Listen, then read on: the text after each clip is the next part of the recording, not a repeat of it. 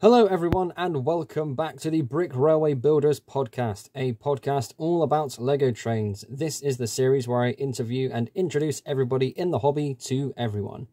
Today, joining me is Matt of Matt's Brick Railroad Works. Hello, Matt, how are you doing? Good, Luke. How are you? I am doing wonderful. I've had quite a busy day. I've been making a lot of models recently, and I get to record another episode of the podcast, so everything is coming up Milhouse. Hey, I understood that reference. So please formally introduce yourself. Hello, everyone. Uh, I'm Matt uh, from Matt's Brick Railroad Works. I've been in the Lego hobby. I would have said I haven't really had a dark period. I've been pretty much involved since forever, since I inherited a lot off my uh, siblings. So uh, mostly castle and space, most of which we still actually have in some somewhere or other. And then I got interested in doing Lego trains as a main hobby. I would have said probably around the 2010s. I would have said that's when I started dabbling in it because I started buying official Lego sets and modifying them, and then I changed over to doing Lego trains entirely because I used to be used to have a model railway. Probably around 2014, 15, 16 maybe. I can't exactly remember when. Eventually, I've been just been adding to the collection ever since. What can you tell us about your current Lego train collection? It's too big for the space I've got. I think that's the same for everyone, to be honest. yeah. Um, so when I originally started doing um, Lego trains, it was effectively modifications on official Lego products. So the first major project, which as anyone who's in the train hobby will do, is start one project and he, and immediately decide to do other projects. So the first project I ever started and do, um, as a proper project for Lego trains was building a custom, slightly more realistic version of the Metroliner. So that would have been so it was going to be effectively you'd have a six car EMU, so similar to how you'd get with the four car set from the official Metroliner starter set and then the club car as well. With a couple of additions, so there'd be two club cars, and there'd also be a extra car which would be just for luggage and additional seating. Now, obviously, because I've customised it, obviously sleeper trains are very rare, so the sleeping section went entirely. The end units were just for the electrics and maybe some parcels storage or mail storage, and then you know it's effectively just a modified version of that and bringing it into a more realistic more flowing sort of sense. So, you know, there isn't suddenly a stop in the middle of the carriage with a wall or something because there's a bed the other side and that sort of thing. So, so yeah, that is above my head on one of the shelves and it stood sat there for years not doing anything. But yeah, so then effectively I started off with modifying Lego sets um, and then I started dabbling in doing custom trains, all sorts of freelance stuff, but based on what you'd what would be effectively reasonably standard engineering practice, and that eventually led to me doing or starting a train called the Brickliner, and the Brickliner started off as originally a six wide train, pretty much based off what you'd get in a Lego set. And by the time I actually gave up on the project, it turns into an eight wide, two pretty much two scale one to forty eight model, still freelance, but based on what you'd find in an American streamlined passenger train from the 30s.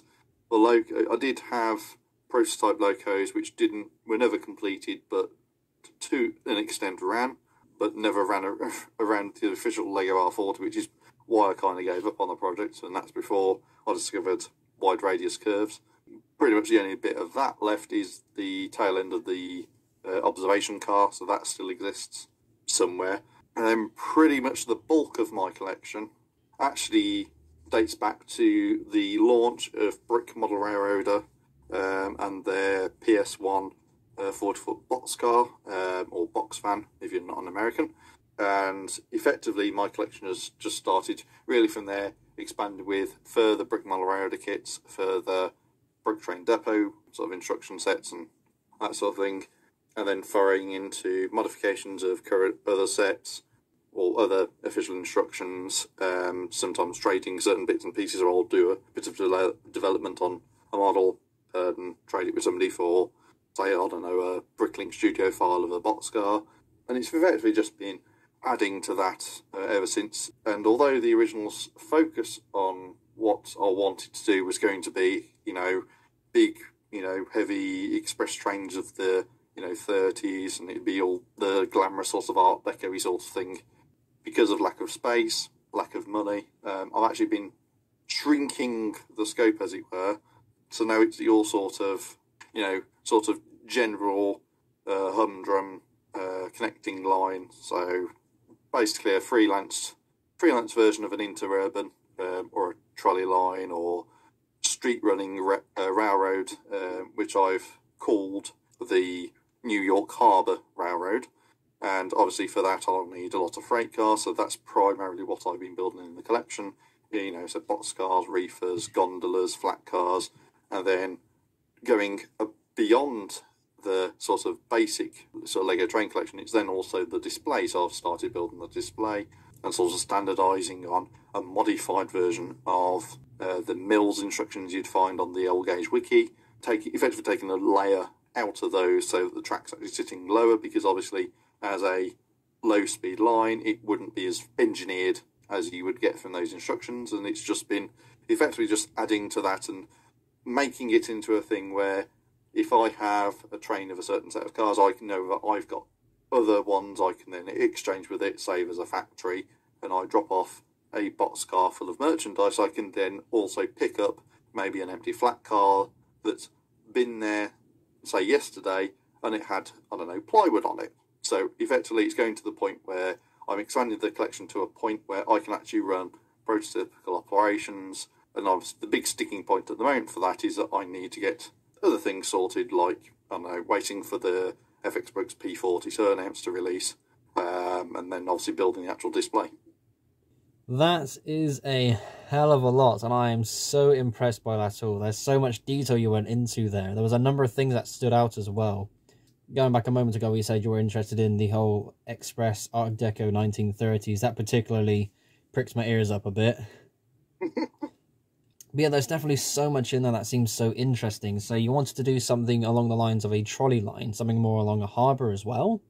Yeah, so if you were to go into pretty much any American city and even, like I said, town in the 30s, really up until the 50s or 60s, um, and probably even earlier, really, so it's probably starting in of the 1900s, 1910s, all the way through until the 50s or 60s, you would have depending on the size of a city, obviously, and the population, trolley lines, um, or as the Brits and Europeans would call them, trams. And they would be, you're saying a commuter fare effectively. So instead of buses, you had trolleys. And the reason you had trolleys was because uh, trolleys took up effectively a lot less problems than buses were, because buses, obviously, from the time trolleys were invented, didn't have much of a capacity, weren't all that reliable.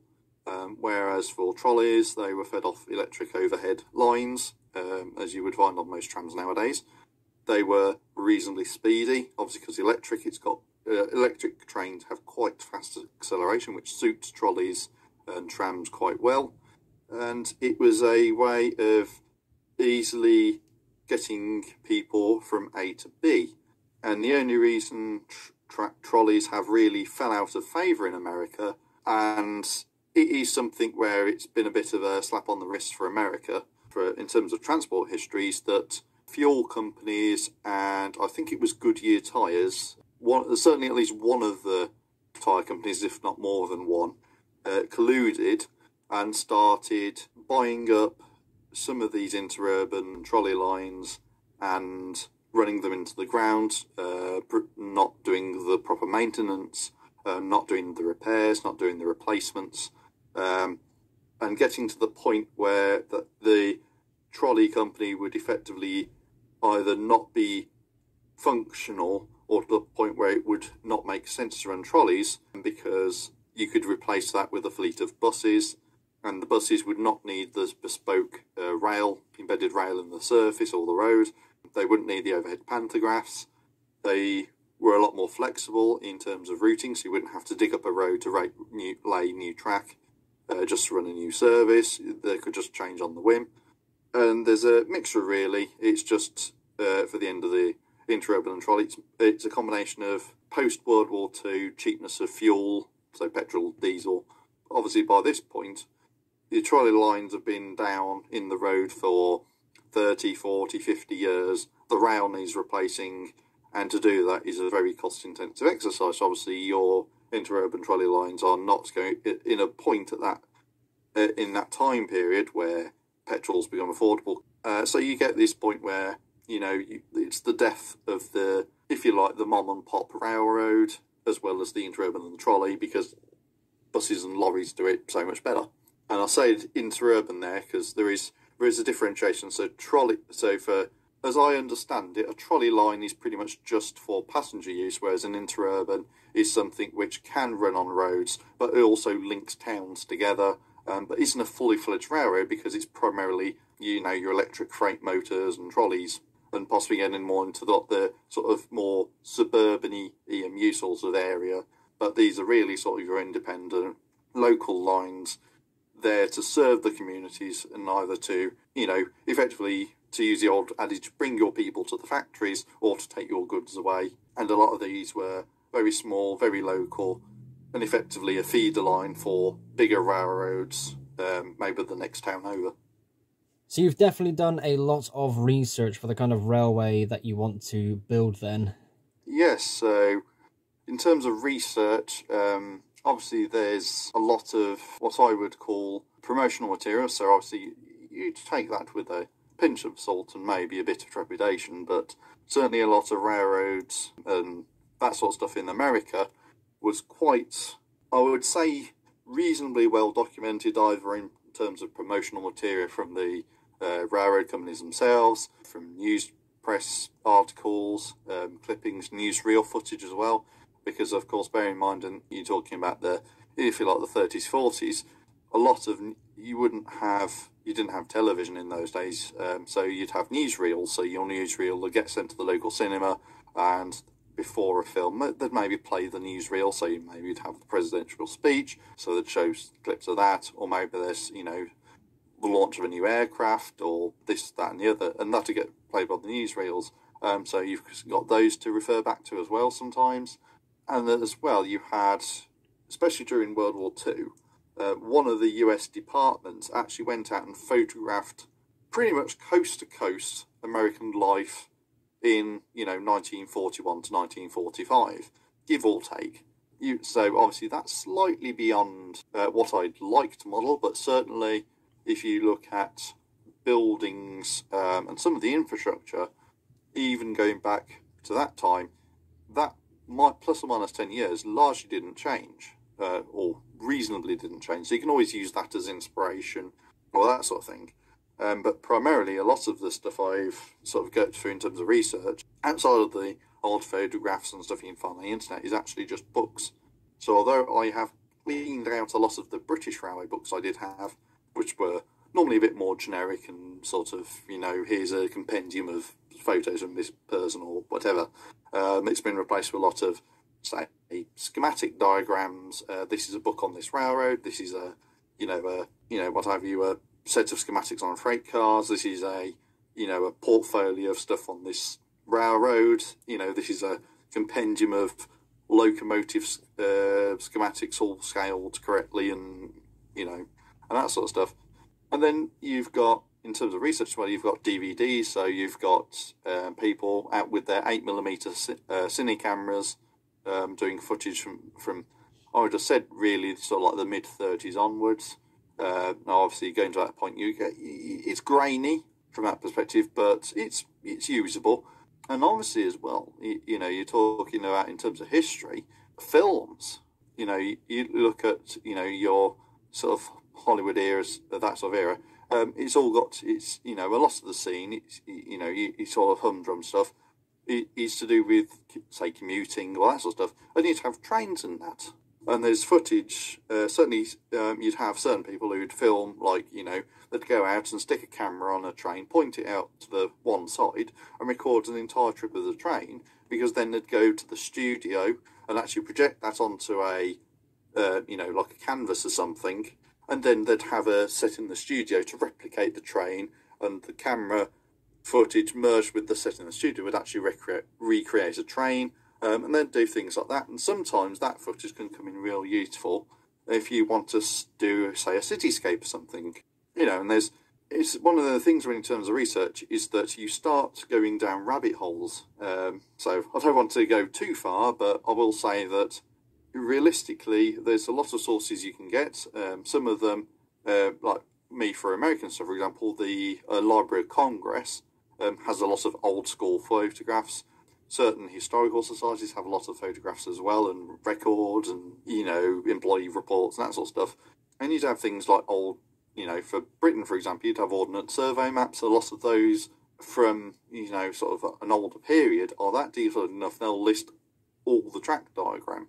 And obviously, you've got all this sort of stuff where you've got, you know, this sort of thing about research is it's a, you can go as deep and as detailed as you want, but you know, it depends on how much detail you want to go. If you just want a, if you like, a broad strokes display or something, you may not want to get it out down to like the neck, the closest stud or half stud. So yeah, that's definitely a lot of good material that you can find when it comes to researching. I know that there's a lot of old posters and newsreels, like you said a moment ago, where you can definitely find so much to get something exactly right. And I think you used the right frame a moment ago as well, uh, going down rabbit holes. We've been about a quarter of an hour into the podcast already, and we're still going through what your current Lego train collection is about? There's nothing like detail. Absolutely. So speaking of detail, I know that you have built some amazing models, and I remember the last thing I saw you build was a uh, switcher diesel, I think. So what would you say is your favourite model that you have built so far? Probably have to.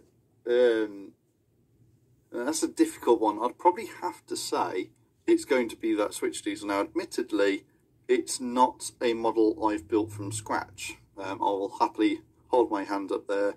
Um, the switcher model you refer to is a New Haven Alco uh, HH600. So, getting away from the anagrams and the short form, um, it, it's actually a, a, full form of it, if you like, is the American Locomotive Company High Hood 600, and that is a designation given by enthusiasts or rail fans, which means it's an American Locomotive Company product, Alco being one of the major American manufacturing companies uh, for railroad locomotives and equipment, um, primarily locomotives. And HH or high hood actually refers to the style of body, um, which is a high hood rather than a low hood, for obvious reasons and then the number is actually just the horsepower of the engine inside. So the model it's based off is actually on a Union Pacific High Hood 1000 model, and what I've done was I've used photographs of the real thing, and some of that's from books, some of that's from the internet, and backdate the model from the 1000 horsepower version down to the 600 horsepower version, um, and re-colour it for New Haven pumpkin scheme, if you like, uh, which is the dark green for the sills and the cab and the bonnet roof, and orange for the main body. It's obviously not complete. There's decals missing, um, particular uh, for that model of loco in the New Haven livery. It's missing the distinctive sweep of the dark green, uh, which should be near the cab. Now, obviously, there's a bit of a problem with that. Is that next to the cab on what is the driver's side for, for American models um, is a set of ladders. So I might have to be a bit of artist's interpretation when it comes to that side. But certainly, it, it looks the part. You can tell it's a New Haven. Um, it's the the New Haven livery is very distinctive in that sort of regard. And I actually had a bit of problem with building it in in the New Haven livery because the New Haven livery is obviously dark, it has dark green, and dark green is isn't although it is a, is a reasonably plentiful colour, uh, depending on the parts you're after, it, it's still a bit limited. And one of the big things on the model that is a bit restrictive is the I'm not sure quite what they are, but the, to, to use the more literal term, there's some bumps on top of the uh, bonnet roof, which in scale form are represented by 2x4 tiles. So, in terms of doing research, you all, yeah, well, it's a 2x4 tile. Surely Lego has done 2x4 tiles in dark green. And you'd be right, they have. Um, but they only actually appeared, uh, to my knowledge, in one set, which is the BrickHeadz Jurassic World set uh, featuring Blue and Chris Pratt's character.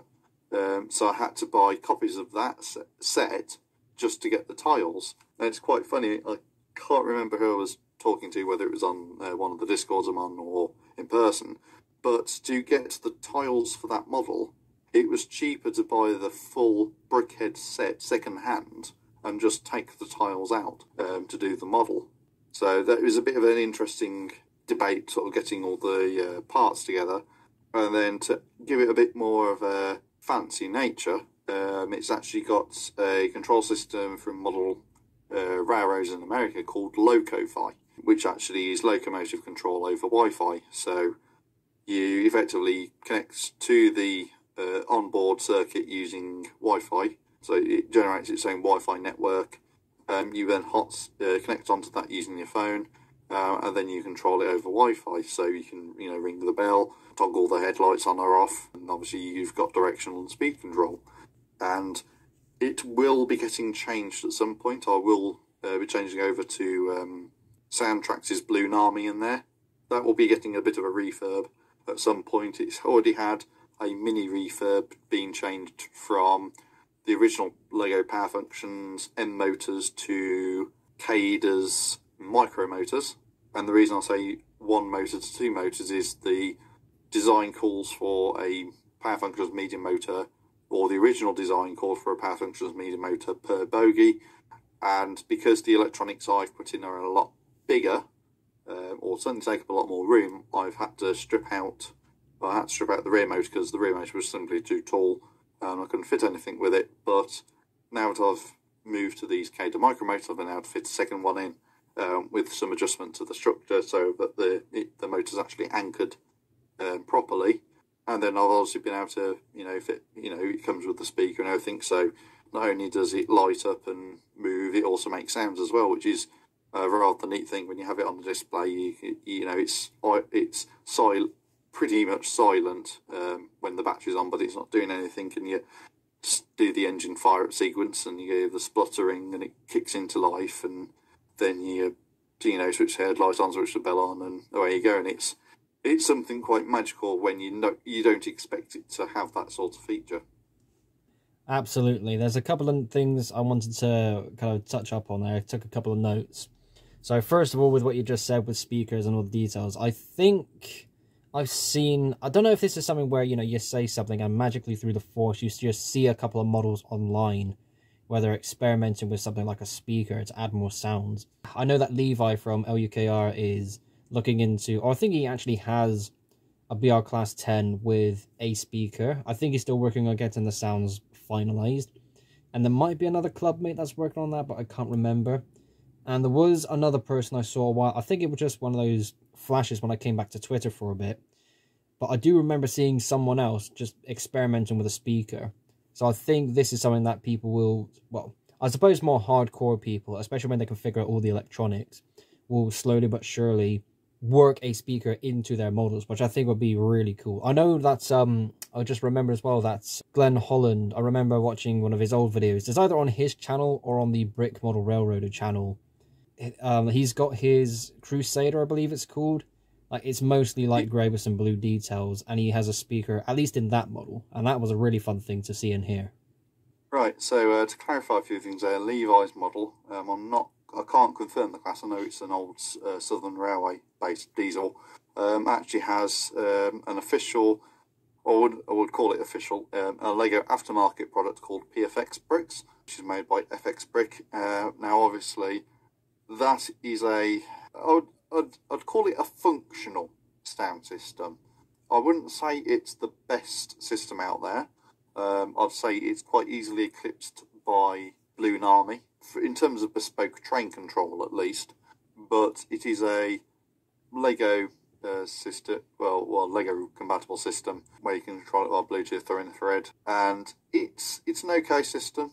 You know, in terms of the for the Lego train hobbyist, I think. It's certainly been eclipsed by Blunami, which is a lot more obviously for because it's effectively DCC of the Bluetooth. Um, the Blunami is a lot more appropriate uh, for train models. Um, it's got a lot more functionality and design features, if you like, catered for being a train model. That's not to say that the PFX brick is necessarily bad. It does have, you know, um, output synchronized sound, so it will chuff according to how many revolutions you code it to. So obviously it, it picks up how many pulses the motor's sending and that sort of stuff, and it feeds back off that and then decides how many chuffs it's doing. But FX Bricks were did have a blog post at some point saying they were going to improve some of the functionality on it, improve, give some more sound sets and that sort of stuff. And don't get me wrong, it is a functional product, but it is a bit more restrictive in what you can do. Um, it's not an easy product to use, I would argue. Uh, there's a lot of there's a, bit of a learning curve with it compared to other products um, you can get. And Glenn's um, Glenn's uh, Reading Crusader is a very nice model. Um, I've never actually seen it in the flesh. Um, I've never actually seen uh, Glenn um, in in person as well, which is something I is something we need to fix because uh, I think uh, me and Glenn will probably have quite a lot to talk about of, of some description. Uh, yeah, so Glenn's Crusader model um, actually has something called Dallee Electronics. Can't remember the precise name of it, um, but it's made by Dallee Electronics, and he's actually done a custom link with Power Functions Infrared. Um, so basically, the way it works is that infrared controls the motor. Um, one of the channels controls the motor, and the other channel controls the bell and the whistle. So basically, there's a thing where you turn. The way it's coded is that you turn the bell on or off via one spin, via spinning the dial in one way, and then you turn the you toggle the whistle by turning it the other way. So you, to, you sort of effectively rotate it towards one way, and once it picks up, it starts playing the horn, the whistle or the horn, uh, depending on which uh, board you went for, and then you turn it again to turn the horn, uh, the horn or the whistle off. That is a system I'd like to get my hands on because I'd love to have a copy for my Pennsylvania Railroad T1. Unfortunately, at the moment, as as per quite a lot of uh, hobbyist electronics or consumer electronics, um, there's a chip shortage going about which has caused a lot of problems with actually getting that sort of st- style of product. So they're currently out of stock for the moment, um, but I'd be looking to certainly get one um, because that with that system, it's although it is not a control system for the motors and that sort of stuff, um, it's quite easily integrated and gives you either motor synchronized uh, chuff or sensor synchronized chuff, and you've also got your you know your bells and whistles related to that as well. So you can actually give quite a good effect. And that system's actually well when it when it is available, it's actually available in steam, diesel, and electric varieties. So there is there's certainly products out there um, in the market to add extra, if you like, sounds and lights and stuff. Now, now, and I would and I would clarify the sound thing with a you know a couple of stars and you know pointers sounds is very subjective, and I would say that depending on the model you get, you're not going to get completely accurate sound, especially if you're doing an exhibition. Uh, depending on the location you do the exhibition as well, the sound is often drowned out by either the crowds near the display uh, from talking or just from the fact that it's just a large space and the, the system isn't loud enough to cope with the large space. So it might be at uh, when you're at home or in a workshop or on a home display, it's perfectly fine. But when you get to a, an exhibition venue, it's not loud enough. So you might be able to hear it if you, you've pretty much got your ear pressed against the model, but maybe not if you're a couple of feet away. So for those adding sound, that's probably a bit more of a cautious note to be aware of that, you know, sound and lights are great, but obviously everything in moderation. Uh, sounds and lights, especially control systems for the sound, can add quite a lot of cost to a model when it's not necessarily something that adds a great deal of added appeal to it, I would say. Yeah, that's a very good point as well. There's been times, not necessarily just with Lego Trains, but there's so many examples where you can look at people who have poured so much money and resources into getting all of these little bits to combine them all together to try and make something that they think will be amazing, only for some pieces of that project, or even maybe all of them at some point, you know, it might just not all fall together as well as they think. And I think with someone like that, if you really want to make sure it's um, that it's working as well as you think it will. You could just follow the train around the layouts with a little microphone and a speaker somewhere. Improving sound is not it's not too bad a thing. You can just literally just put an amplifier circuit into the sound output and uh, plug a bigger speaker in, and you can get bigger sounds. And certainly, if you're going down a more official Lego route, I I hasten to be one of those people to say that Lego did do it do it as well. Um, if you use powered up and you have a powered up train, um, whether it's steam, diesel, or electric, Lego do actually do a sound system via the Power Functions app. Um, so you can actually link in, and whether it's the Disney train sound scheme or just one of the standard diesel electrics, um, they also give sound. Admittedly, it's via your phone, but something that I did learn via the standard, you know, sort of like uh, model train community is you can get what what are called uh, Bluetooth sugar cube speakers. Yes, the uh, sugar cubes. I've heard of them. Yeah. Yeah. So they're not particularly big. They probably measure maybe a couple of centimeters to an inch in in diam in you know all dimensions because as as per the description they're supposed to be sugar cube size, so they're cubes.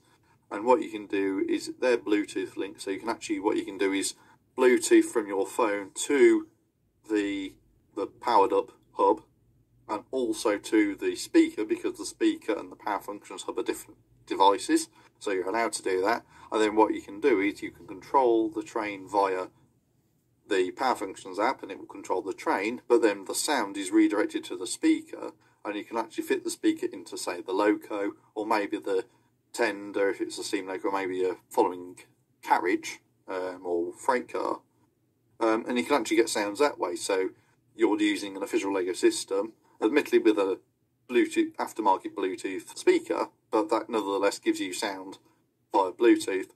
And obviously, the thing with that is that you can then change if the Bluetooth speaker's still got enough charge after you've used it. If the power, or if you want to change trains, you can always take the Bluetooth speaker out of that train, put it in another one, and connect it to another train, and then just change the sound scheme you're using, and then you're still getting the same effect of you've got train-based sound, but it's not produced by the train in and of itself. It's actually produced via the app and just shared uh, via the Bluetooth speaker.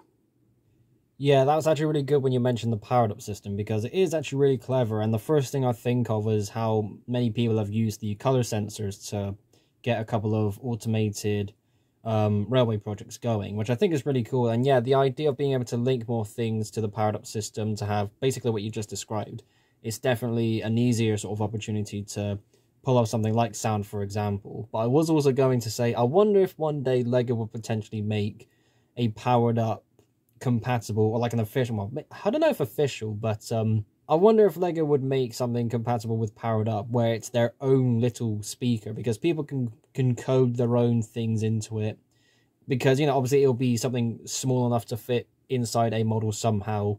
It'll probably cost a hundred pounds because it's Lego. You know, of course it will. But I think something a bit more official in terms of just a speaker, just to save hassle for a load of people that want to experiment with this, I think would be a really cool thing to see in the future. The only problem is, is, and I hate, I hate to be the person who points out, but Lego hasn't exactly had a good track record with trying to go for fancy electronics. That's not to say they can't do it. Obviously, we've had, you know, the all the fancy stuff in terms of like the um, Lego for Education. Um, so you've got all, all the educational robots, You've got, you know, like the old 9 volt system, you had sirens, you had lights, and all that yeah, sort the sirens and um, the lights. I remember them. I remember having one years ago, like figuring out what it was, pressing down the button, and it made the siren noise. And I'm trying to press the button again to make it stop, and that was that was probably enough for me. It got to be said. But then there's always the other thing, you know, and and you know, this is also sort of one of the things where, in some respects, I am slightly defending Lego here if they make a product, it's for Lego from Lego's perspective, it's got to be suitable across multiple product lines. Uh, yeah, I'd probably say it's probably the best terminology. And obviously, if you're making something very specific, especially if you're talking about trains, um, something train specific probably wouldn't sell well uh, on the basis that You know, this is the whole this is the whole thing when you get to talking about Lego trains and why don't Lego make more. Retailers probably wouldn't stock it, so it'd have to probably be a Lego official exclusive. So unless you're going to order it from Lego or go to a Lego shop and buy it in person, you know the market reach is severely diminished. And if you make it generic enough so it works across multiple things like Technic or that sort of stuff, you're probably going along the sort of more Sort of say power functions lines of you're probably better off just having something where the speaker hooks into the hub and you just sell oh, the speaker as an optional extra. But then the problem with that is that you, because Lego market it as a toy, you've got to have all the toy safety standards. So it's got to, you know, you can't swallow it if it's less than a three. If a the kid's less than three, the connection's got to be suitable enough so it won't give them a shock. And it's one of them things where the probably the development cost probably outweighs any perceived benefits. And I'd probably say as well, for a lot of people, the fact that they can motorize a model and control it with their phone or with a remote is probably, well, probably said 80% of what most people want. Yeah, that's um, all it needs to be. You know, and while sound systems and lights, I mean, you can get power, powered up lights, obviously, um, and while that sort of thing is probably very good, it's probably also the thing where maybe you know you'd, you'd probably argue that maybe they're pushing the, pushing slightly too far into trying to get too much electronics into Lego when maybe aftermarket products or maybe ones from other hobbies probably do the job not only better uh, but probably for a more appropriate price point. So this is my favorite part of the podcast. This is my favorite question to ask people. What is your ideal Lego train set? I'd probably have to say, if I was going to go for an ideal Lego train set, now, no, I'd like to query this as a question: Is co- is cost no object? This is just in your mind. If you went into a toy shop or the Lego shop, you just saw your perfect Lego train set just there on the shelf. It was exactly what you wanted. What in your mind would that be? I'd probably have to say I'd probably say something like a small tank engine, sort of like a small steam engine, a small steam tank engine, or maybe a, um, a small diesel, and probably probably two or three um, freight wagons or freight cars. And I think, and depending on what control system was used, if any, uh, probably a remote as well, because that probably satisfies um, a lot of what I'd probably want. Two or three uh, freight cars or wagons is, is enough to have a bit of variety. Maybe if you feel that, you know, if you're going for certainly British and European stuff, um, the because they're obviously a lot smaller than the American size, you can probably fit, squeeze in probably another one or two, so you can probably fit a brake van or brake car in there as well. And you can, you know, have a lot of, and this is the thing as well when it comes to uh, train sets as well, is that you know it's supposed to be fun to a degree. So obviously, if you get, if you're talking about that sort of level, you've got enough variety in the wagons at Hall that you've got a bit of variety in those. Uh, and then obviously, then if you've got say an open wagon, you can then change out loads. So you know maybe you can fit a tractor to it for one day. Maybe take that off and maybe put some, you know, maybe some wooden planks or something another. You know, and having something like that means you can cycle around what what it's carrying and then also add to the fun. So that's a really good answer. I like that when you started saying that, just a small tank engine or a small diesel on its own.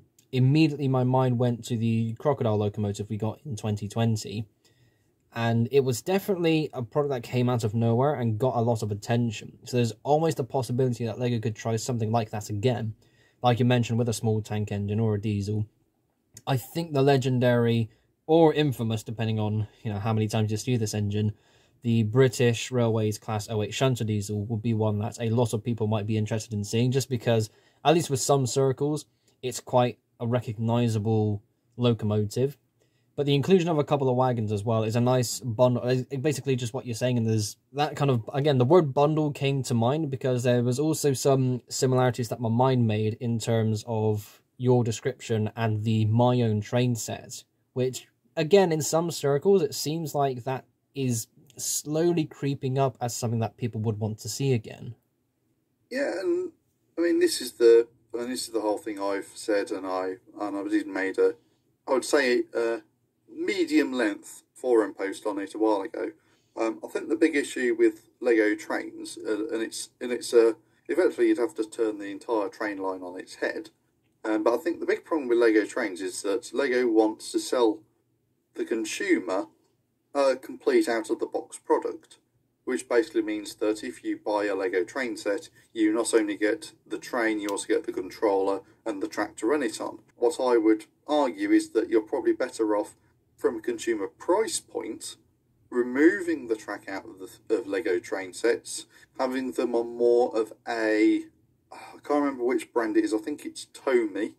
Um, oh, the Tomy Plarail, where they just yes, had the no, track no, strips individually. Into, I'm, yeah, I was, I'm going back to the days when Toys R Us was a, still a physical brick and mortar store. Yes, I know um, exactly um, what you're going to say, and I love it. and that is splitting track out of train sets so that you, your train set effectively is literally just the loco and the wagons it's supposed to be pulling. And the reason I say that is that obviously you can go a bit eh, beyond and maybe have like if you know you say you're doing a freight car for for you know 2024 or whatever you'd have your train and maybe if you'd got a flat car with a timber load and you wanted to include a forklift you could include a forklift but because you separate the track away from the train anyone who's buying that as a train set doesn't have to bend isn't left with a bundle of track. So you can still keep, you know, a standard, I don't know, a circle of track as a starter pack. You can maybe have a pack of turnouts as an additional pack and maybe have another straight and curve pack. And then you just, then in addition to those, you then just have your passenger train and your freight train. And you can then just cycle round those two train sets every four years maybe update your packaging to coincide with that change of product, but then you're not actually changing your product, you're just literally changing around the trains. Does a couple of things is that that then frees up shelf space because the train sets themselves aren't as big. It means means the train sets are more uh, appropriate because then if you want the track to go with your train set, oh here's a circle of track you can get, here's a track pack. And it, it and this is the thing with Lego is that it, it breeds I hate, I hate to use the word, but it breeds expandability. If you want more track, you've got a circle of track and you bought the freight set, it goes around the circle, very nice. But maybe you want a siding or a spur to put some freight cars on, or maybe you want a dead end terminus for your passenger train. You can do that because then you can just buy the additional pack, track pack you want. You know, we're starting to go a bit into like the Hornby um, and maybe sort of like the Bachmann Thomas sort of range where it's you know a track mat and preset track plan. But from my perspective, if you change it so that the just the trains themselves cycle around and they don't actually come with track, the boxes are smaller, the prices are better, um, and if you've already got a train collection, you're not repeat buying track you don't need, and that's the big bugbear. If you buy, I don't know, the passenger train and the freight train, you get a lot of curve track and then if you go four years down the line when Lego do release their next wave of trains, you're then just buying more curve track and you're not actually getting enough straight track to counteract the curve track to make it worthwhile. So then what happens is that Lego just flood the market with curve track and then you end up with people going, I've got these, you know, thousand curve pieces I don't need and I've got no use for them. And which is why when you look at aftermarkets especially, the curve track is so cheap is because it's, you know, if you buy a train set and you want the train but not the track, you just sell the track. And normally the track, especially with passenger train sets, is always curved. So it wastes, you know, this is the thing, you know, time back into the start. If you split the, tra- the track away from the trains and sell the track separately, you're not having to pay extra for the track. You can buy the track you want separately or as you want to expand it and then when you buy trains, you're not actually paying extra just for track you're not using. That is a very spot on thing there, yeah. When you said about all the excess curves, I immediately turned around and looked at a box I've got with all my sort of excess track and a couple of track pieces that I don't really use that often.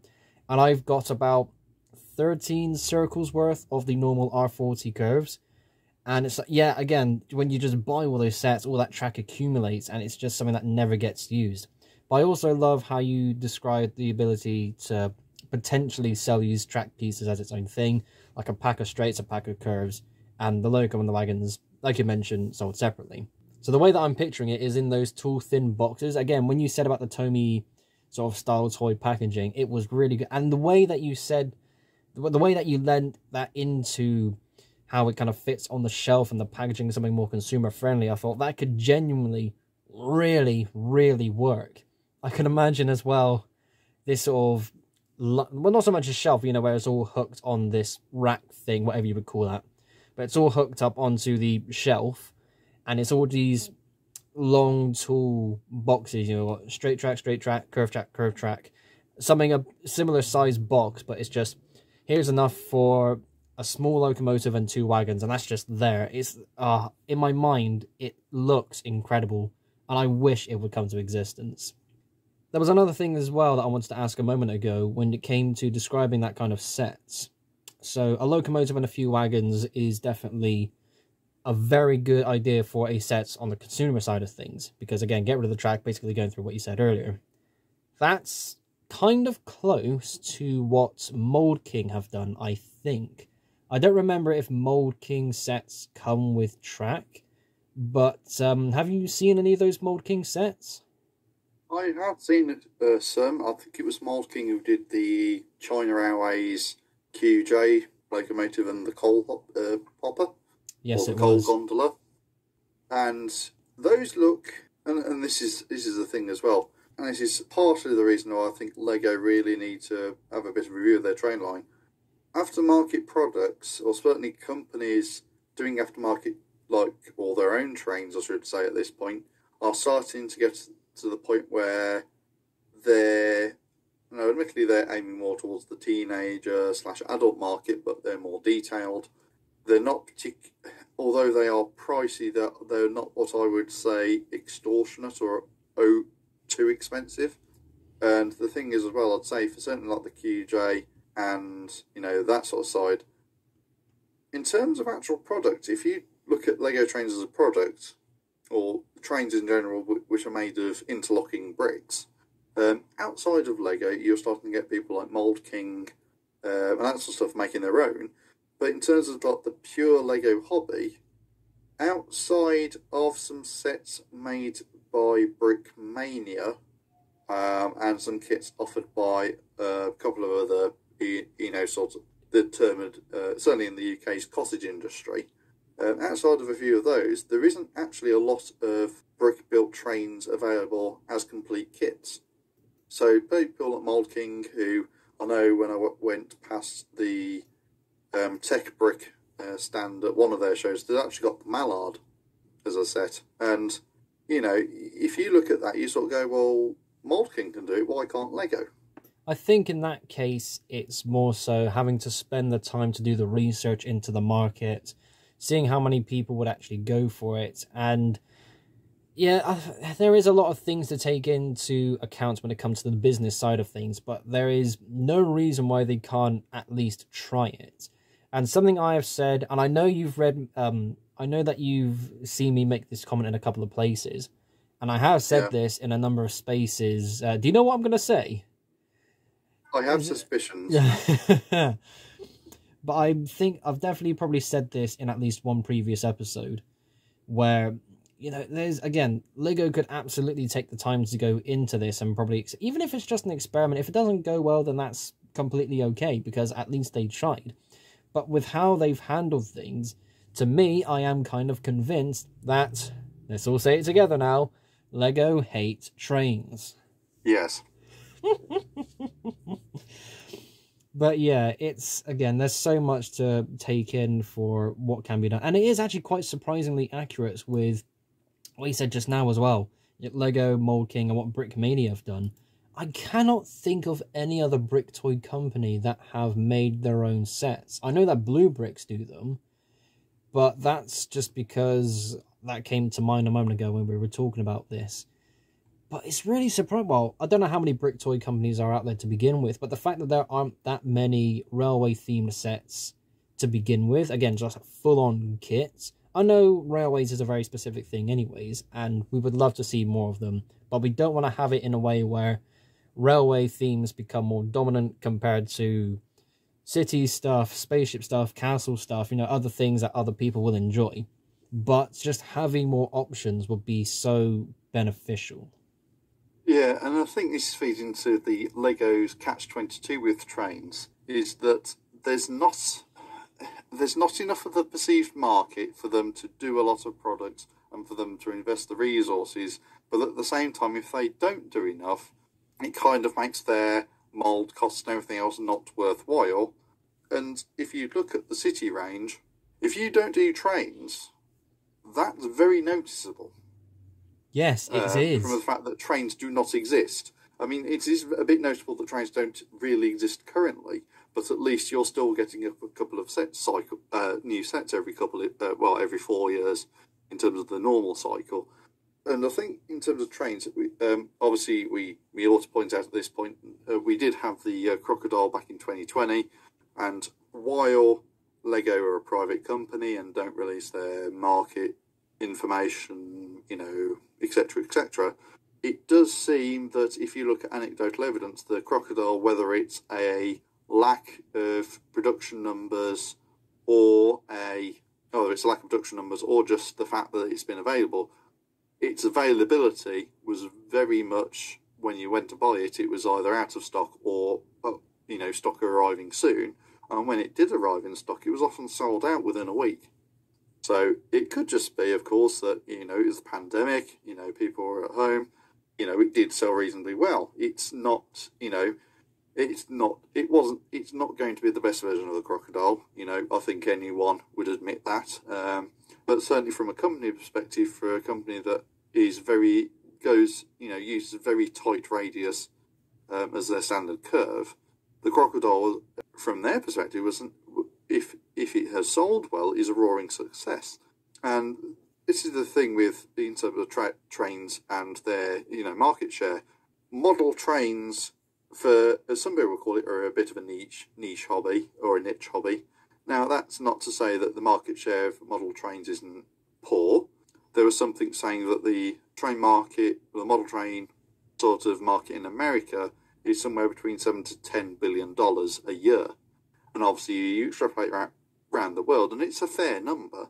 But then when you look at Lego trains, you're talking a niche of a niche because it's you have to be in Lego to build Lego trains, and then Lego trains are a subset of Lego itself. So it's you're getting you know, your pool, if effectively is getting smaller and smaller as you go down the line. The argument always is with Lego, well, if you don't make the investment, you're never going to get the return to make further investment or further product. But I think really we, this is the sort of thing with Lego, is that if you go into, and I'm gonna say it, any generic toy store, whether it's uh, the Entertainer, whether it was Toys R Us, whether it was anything out, any pretty much any decently sized toy store, you've got wooden trains, you've got the plastic sort of like Tomy uh, sort of trains. There is a gap there after I would say sort of like your baby slash toddler slash young child sort of range for a train based thing, but the problem with Lego trains is that you've got to get the retailers on board in saying that this is a product that will sell well. But then the problem is you've got to convince retailers that you're actually keen on getting the products out there. And if you're only doing a set every four years, then, you know, is there much impetus to actually carry them? So moving on to our next question, do you have a favourite or standout Lego train builder that you are following online? I would have to say that there are many. I wish I don't wish to incriminate myself on this question. Um, I would say there are many people out there who build fantastic models, and there's many who do. You know, you, you don't you don't expect something, and then all of a sudden they're coming out with something just like I never even knew you'd built that. You know, and case in point, Glenn Holland, the tail end of last year, came out with not one but two fantastic steam locomotive models but for me, if I'm going to go out for a standout train builder, especially for British stuff because I build American, you know, I can recognise a good American model, but every so often you want that little bit of a taste of home. And he's not British, but I have to say, British bricks can knock British models out the park. You know, I've not watched, well, I've not really looked at anything recently that he's done, but I know that you look at um, there's footage of his um, LNER stuff running at one of the show, shows in Australia, and you just look at it and you just think, my word, he's not even, you know, he must have so little resources to go off, but the models are absolutely fantastic. I just knew that you were going to say, I think British Bricks has been mentioned every episode so far. Now, when you gave that first hint, he's, you know, he builds British, I was like, oh, go on, just say what I think you're going to say. And then you did. I was like, ah, oh, it's like a mini celebration of sorts. yeah, the, well, this is the thing, if you look at sort of like your, um, you're sort of like, if almost if you like home market share, you know, there's the American builders, and then really it's almost like after the British builders, it's almost it's almost like after the American builders, it's the British builders or people who build British trains that come second, um, and then you've got of like the Europeans and the Australians after that because the Australians, and I don't know how, but the Australian market Australians have an absolutely huge portion of people who build trains out there in Australia that are based on Australian models, and it's just like, well, it's, it's certainly perceived that way. It's like they've got enough to fill a hole with them. It's like, well, you know, it's like you look at the British stuff, it's just like, well, he's got a little bit, he got it. It's like immense. You know, is I hate, I hate, I hate to point out British bricks, but there is there is always the what I what I what I call always the bridesmaid, but possibly not quite always the bride, and that's uh, Trace Pierce, who who his Lego persona is Pierce Bricks, and his 14XX that he's showing pictures of. When he first showed pictures of that off, it was just like it, it, I can see where you're going with it, but it's not out and out the best 14XX I've seen. He's not there yet. So yeah, Trace recently uploaded a couple of pictures to the Lego Rail Facebook group. Uh, he showed off his latest incarnation of that tank engine to have an 8 stud wide running board. And looking at previous versions of that model, again, this is his favorite locomotive, so he's always tweaking it with a couple of extra pieces, but he finally dipped his toes into building models with an 8 wide base. And I think this is now the point where he's reaching his true potential. That's a proper, proper good looking model that he's made now. Yeah, uh, you know, it's you you looked at the first iteration of it, it's like it's, it's it's it's there, but you know you can tell what it is, but it's not quite what you'd what you'd call a you know a good. It's a good model, but it's not quite what I'd call the best model. I've seen people attempt, and then he comes up with this one you know, within the past couple of weeks, and you're just like, this is above and beyond what you'd done before, and it's certainly looking fantastic. The only thing is now he needs to start building stuff that matches that one. Yeah, it's definitely a case of try to build a new model from scratch to match that detail instead of looking at your past models and going, hmm. Because the temptation of upgrading your previous models could potentially be disastrous. I keep looking back at a couple of models I still have that are, I can very clearly tell that these models are a few years old. And I would love to be able to buy new wheels, get some more parts, get another roll of trimline tape, etc. And just basically overhaul it to be into the same build quality that I do today. But at the same time, I feel like I don't really want to because, again, having to spend and invest all that money and resources into making those models work. Yeah, and the other, I mean, this is the other problem as well. You get to a point, especially in terms of trying to refurbish and upgrade older models. You know, you may have gone off some uh, details or instructions or some dimensions which are not 100% accurate so they're maybe so you might have to rescale the model and you think well I'm built, you know, I built this, for example, in 7 wide and I want to upgrade it to 8. I'll just add a bit here, add a bit there, and it'll do. The problem with that is that you're then stretching a 7 wide model into an 8 wide model, when in some respects you're probably just better off starting from scratch and building a model better than what you've done before because, you know, it, Lego especially releases dozens of new parts a year. Um, some of which are very useful to us as train builders, some of which not so much. You know, I don't, I haven't, I've yet to see someone using the new Disney Princess skirt piece in the train model. Lo and behold, there'll probably be one by the time this pod, this uh, podcast goes out. But uh, you know, one of them things where Lego will produce a lot of molds which are and a lot of parts which, you know, even two, three, four years ago, you wouldn't have expected them to make in, you know, a lot your lifetime, and all of a sudden they're just going, you know, oh yeah, here's a three by three, one brick high rounded dome. It's like, you know, that's perfect for doing, you know, an end of a streamlined train or maybe a top end of a articulated lorry trail. And it's like, you know, where was this, you know, all these years ago? I could have, you know, used it back then. Yeah, definitely. I think I mentioned this in a previous episode when it came to um, talking about a model where it was going from one size and dimension up to the eight wide size and dimension, where you are basically just stretching and awkwardly remolding a model that already is built. It was my British Railways 9F, and it was brought one stud wider.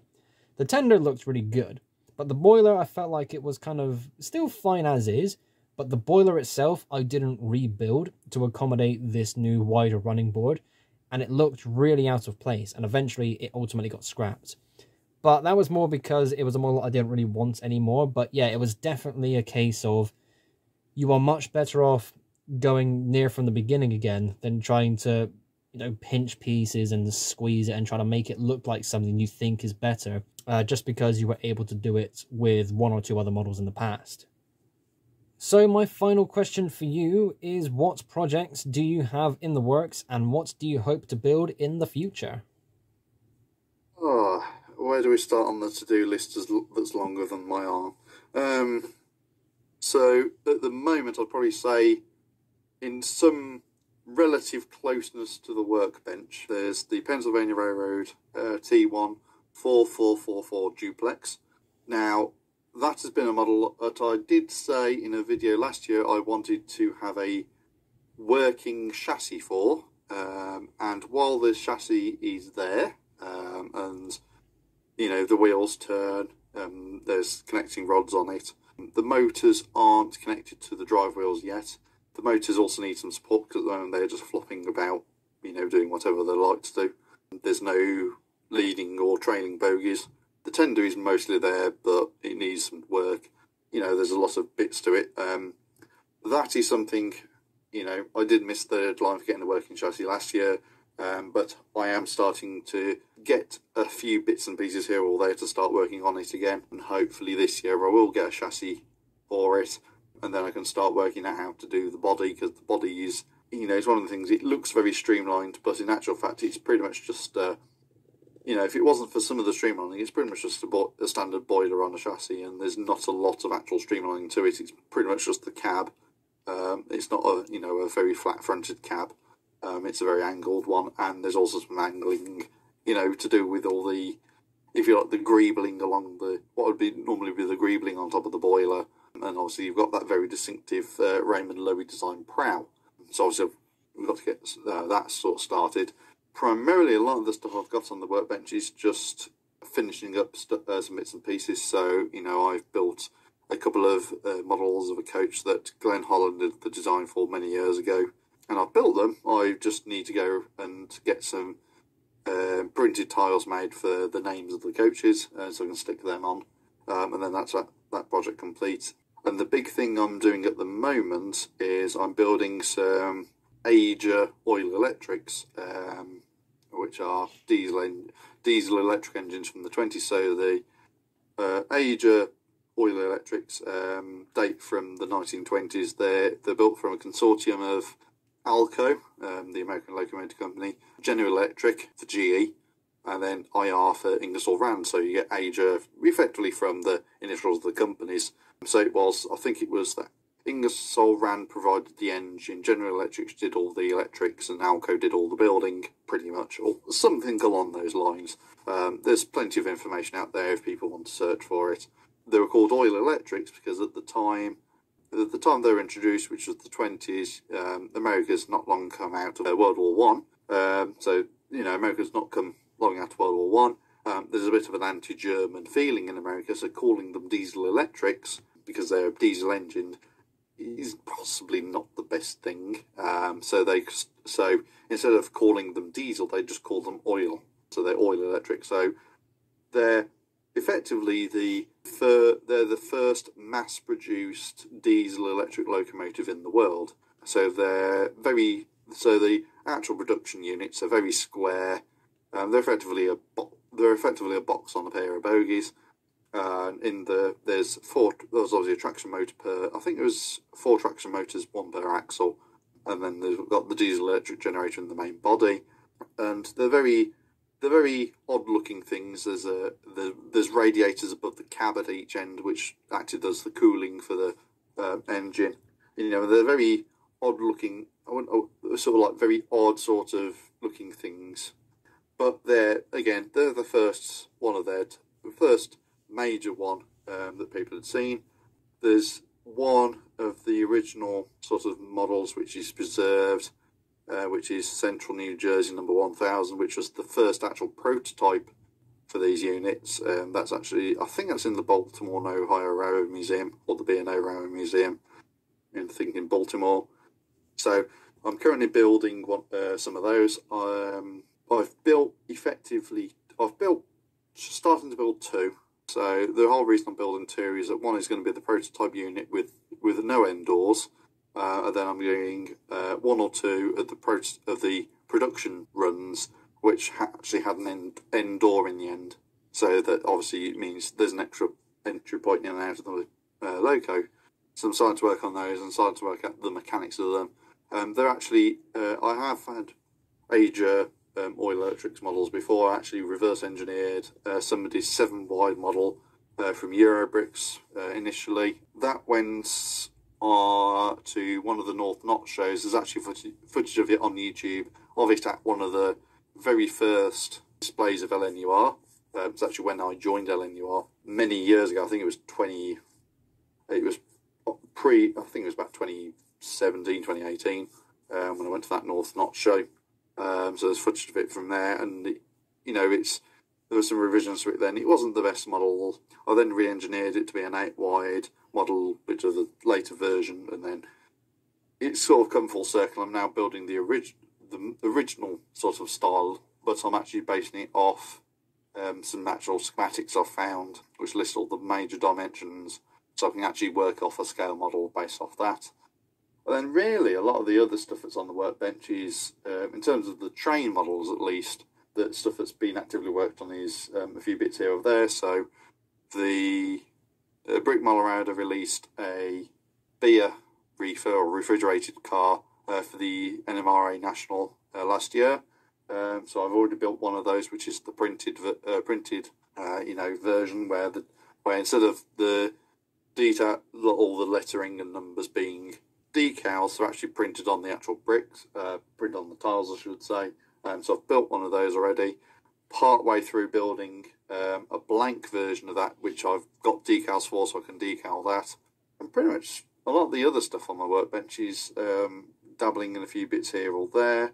And in some respects, I've kind of, although I have got a lot of stuff that's been worked on on and off, um, a lot of it is stalled at the moment because I I, have terrible squirrel syndrome, so I'll start doing one thing, I'll do a bit of it, then get distracted and build something else, then get distracted and build something else, then get distracted and build something else, then drop everything for a bit, then pick up something else entirely, you know, and then I'll just cycle around all these projects, and eventually something will pop out as a completed model. Yeah, there's plenty to do. Um, it's just getting the time and the impetus to actually start doing some of it and actually finishing off some of the stuff. And then, of course, beyond the train models, um, there's all the cityscapey sort of stuff I need to do. So I have started building bits of building, um, whether that's hotel, corner bars, accommodation, you so like houses, blocks of flats, that sort of stuff. Because um, I need to build those, so I've actually got something to run my trains for. So eventually, I will have a city display, and these buildings will be part of that. And I just need to start building some of those um, and actually getting on with, you know, getting stuff done. So, as a personal request, could you put the T1 at the top of your list, please? Because I know how well. I'm. I think you remember how much I love that locomotive. Yeah, um, it's actually, and I, and I will point out here, um, the T1. It's it's it's, it's not going to be a cheap loco when it's finished. Um, uh, so the sounds it's uh, the reason why it's partly stalled is that I need I, I really need some of the electronics now.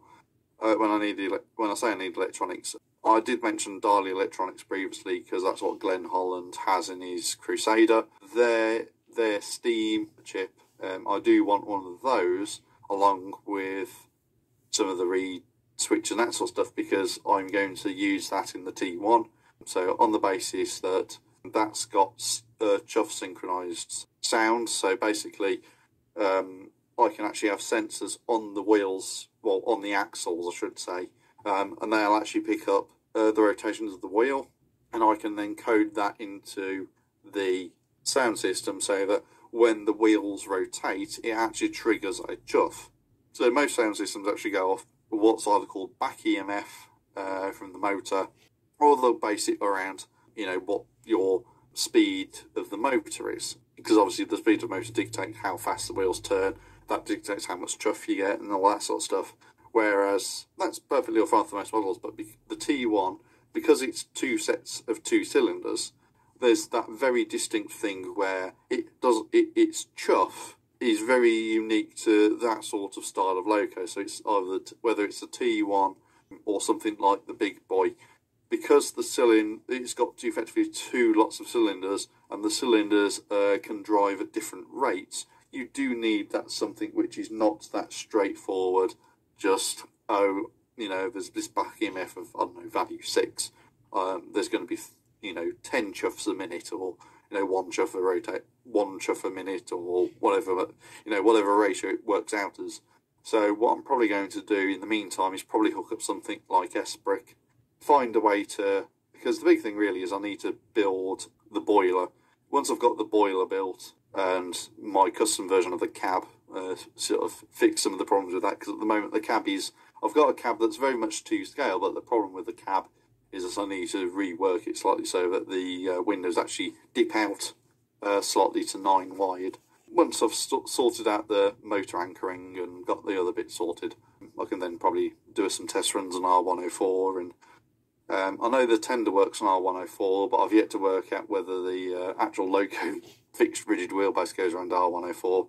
And speaking of the wheelbase, the wheels themselves, um, for the, anyone interested, Joe, who runs Breckland Bricks, um, I actually got him to custom design the wheels for the T1, and those wheels cost it cost me eleven pounds each. So it's got eighty eight pounds worth in wheels alone. So I am not going to give that project up at any point, short of anyone wanting to buy the entire model off me.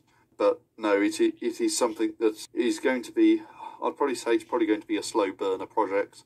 But once it's finished, and I do and I do say when, it's probably going to be one of the most accurate models I've ever done, not only in terms of scale, but also in terms of the fact that it is it will be as good as a replica as I can do it of the T1, give or take the odd half a stud, uh, seven inches or so here or there.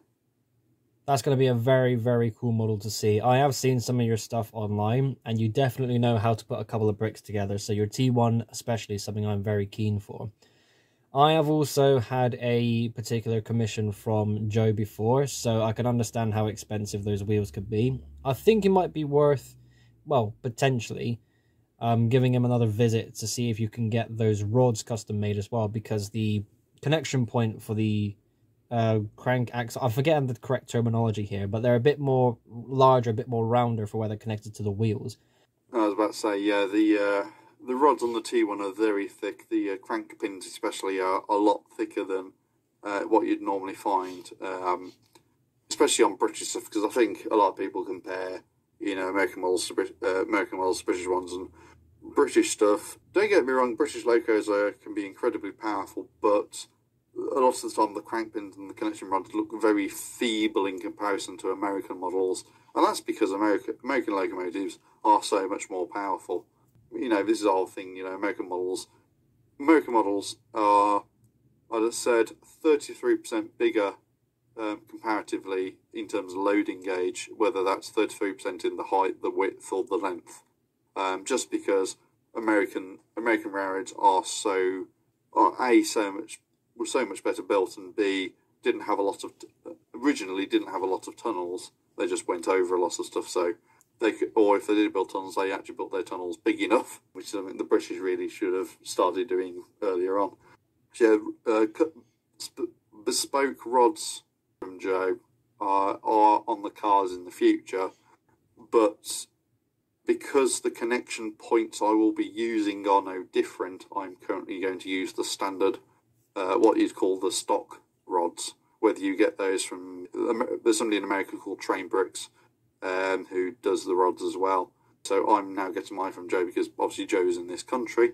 You know, there's no import, there's not much of a delay. Um, and Joe, you know, I can send them a message on Facebook and go, you know, I need, you know, I need, well, the current thing is like with the age of diesels, I need a blank disc wheel. Um, because if you go, if you want some standard Lego wheels, and this is the one that come with the train motor, there's about, I think when I looked on Bricklink, there was nine available and to get them from Lego costs £1.80 each. So I might as well go to Peugeot and get them for £2.50, £2.75 for a bespoke, more accurate sort of plain disc wheel. The rods will need to be bought, which are a specialist thing. Um, the sound system is going to be specialist uh, whenever I get that. So um, hopefully the rest of the model will be fairly stand- standard Lego. So uh, I think the big thing really is I need I need to get it uh, to a bigger track because at the moment it's on one of the shelves, and just the tender and the fixed wheelbase alone um, is pretty much on the ends of the shelf. Uh, so I need to give it get it somewhere where it's got a bit more room to grow. And that will mark the end of the episode. Thank you so much, Matt, for coming on. No, that's quite all right, Luke. Anytime. This was a very different podcast episode to all the ones I've done so far. You were very dominant in the conversation, and you and you basically taught me a lot about what you're up to and a bit more about railroads in general yeah, it's uh, it's it's it's certainly different. You know, and realistically, uh, you know, it's a bit funny. We always we, there's all the joking Alan you are that uh, that you've got an American building British stuff and a British person building American stuff. We really should have swapped them. I'm not I'm not sure Trace would would quite agree to that, but. Uh, yeah, I think he'll be all right with it though. So Matt is online. Do you want to give yourself a quick shout out for social media? Yeah, so uh, I'm available on uh, Facebook and YouTube. So you just search for Matt's Brick Railroad Works. You'll find me on there. I haven't got any shows planned or shows attending planned this year. 2024. I know it's, it sounds so far off because we're only just in February 2023, but 2024, theoretically planning a trip to the Amherst uh, Model Railway Society exhibition, which is normally the last weekend in January, um, which is in America, and then July again. Next year should be Tom Stock 2024 from the Modelers Live podcast. We'll try my darndest to try and go to the uh, Tom Stock at least because that because the one in this year, uh, last year I should say, was a bundle of fun. Um, I'll try and get to Springfield and join with the uh, LGMSP crew over there. If I can finish uh, Great Western, uh, some Great Western coaches, I might take the uh, Block Junction Hall I've got sitting on one of my shelves along with a couple of coaches, and then there'll be some British stuff on on uh, running as well. But yeah, there'll there'll probably be something coming up this year, um, whether it's sooner or later. So keep an eye out on Facebook and YouTube, and uh, hopefully I'll get some. I'll put some time aside to start editing all the stuff from uh, last year's Bristol Brick Show and getting that up there as well. That all sounds very exciting. I cannot wait to see all of that take place. So all of these social media links for Matt's Brick Railroad Works will be in the description down below. And we will BRB with more BRBs. Thank you all ever so much for listening, and I shall see you all in the next episode. Bye, everyone. Hi, goodbye.